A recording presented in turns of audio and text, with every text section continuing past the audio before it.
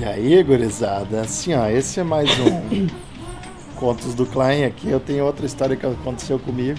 Eu tava na aula, isso era primeiro grau, assim, eu- aula de informática, eram duas carreiras de computador, uma de cada lado e um corredor no meio. A aula já tinha começado, não sei porque eu tava atrasado, acho que eu fui cagar no banheiro, porque é isso que eu sempre tô fazendo, sempre tô cagando. Então eu sei que eu cheguei na aula, entrei assim, lá no fundo tinha um livro, tinha um colega meu, e o computador, eu vi a cabecinha dele, assim, só ali do meu colega, e o computador do lado, sentei, né? Tô aqui mexendo no Megalogo, sei lá o que que é, da tartaruguinha que mexe pra lá e pra cá. Eu sei que a única tartaruguinha que eu conheço é aquela que sai da bunda e cai no vaso. Então eu tava lá, tranquilo no meu computador, daqui a pouco eu escuto assim, ó. Porra é essa? Olho pro lado, tá a porra do meu colega aqui, ó.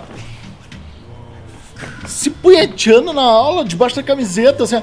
Porra, maluco, que, merda é essa? Fica na tua, meu, fica na tua. O que, eu faço agora nessa porra, né? Peguei, levantei assim, ó.